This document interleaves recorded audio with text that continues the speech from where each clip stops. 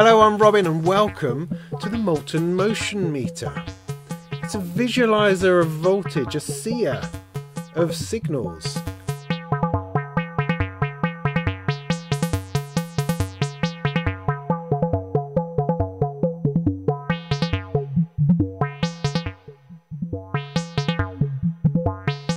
It visualizes what's going on. It allows you to plug modulation in or audio in and see exactly what sort of levels you're getting. You can then adjust it, attenuate, attenuvert, and kick it back out again as either a mixed form of modulation or as individual channels.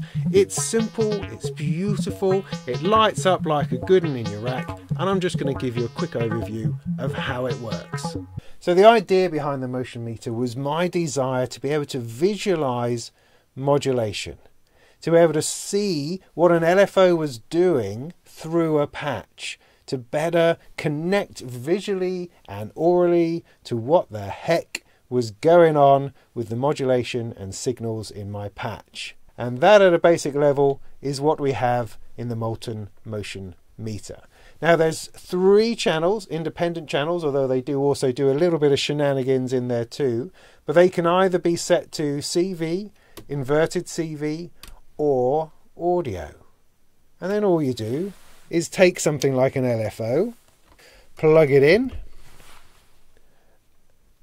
and you get this beautiful display of the voltage going through with the knob to attenuate down to whatever sort of level that you like, plus or minus 10 volts, giving you the full range.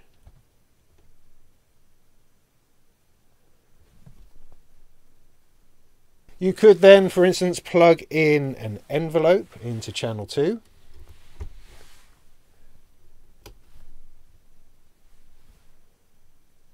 And have that fire. You could then invert it and scale it back to exactly the sort of envelope that you wanted. Channel 3 could be audio, plug in the output of something going through it.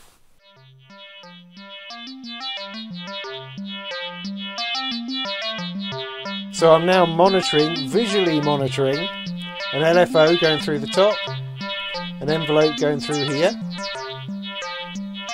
and audio going through the bottom.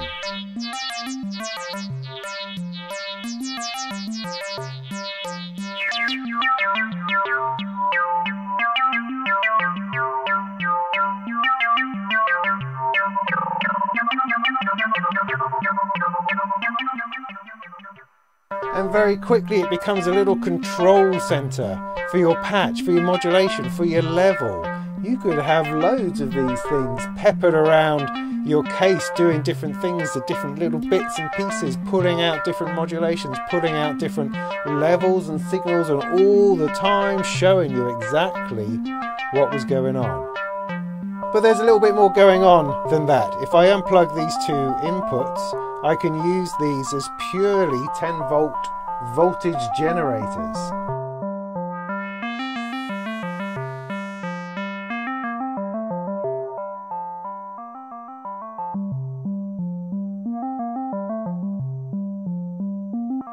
Or if I unplug these outputs, then channels 1 and 2 will sum to channel 3. So anything I plug in the top will be reflected in channel 3. So if I've also put in the envelope into channel 2. That'll also come down. So I've got channels 1 and 2 being combined into channel 3, which I can then use as an offset.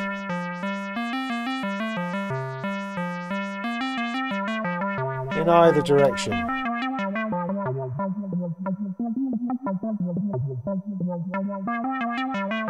So it very quickly becomes a combination engine. It becomes a place where you can combine waveforms, combine modulation, and then all squirt it out of a single output. And I can still add another one via three. Or it's quite nice to put in a little bit of randomness.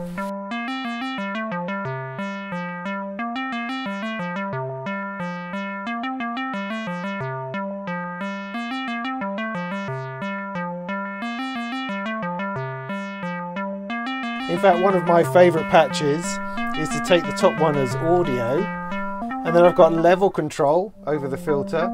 I've got an envelope going in. And I've also got some randomization from channel 3. If I take out that randomization, then I've just got an offset.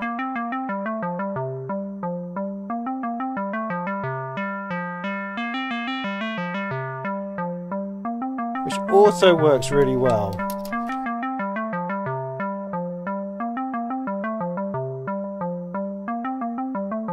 But it's superb in live performance because I can see it, I can identify it, I can reach out and grab it without any bother whatsoever. I'm not going to get lost because you can see what's going on. You know, you could run one of these for every filter voice and have complete, confident control over exactly what's going on.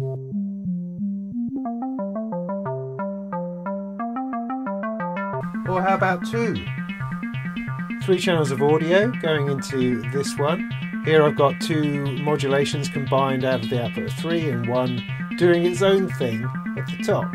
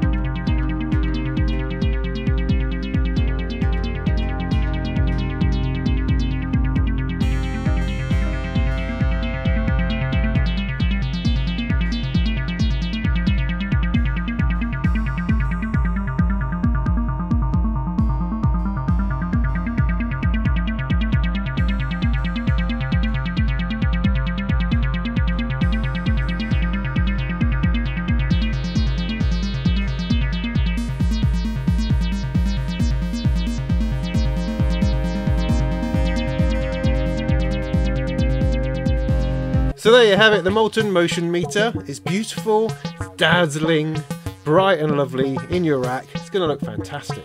Thanks very much. In the meantime, go make some tunes.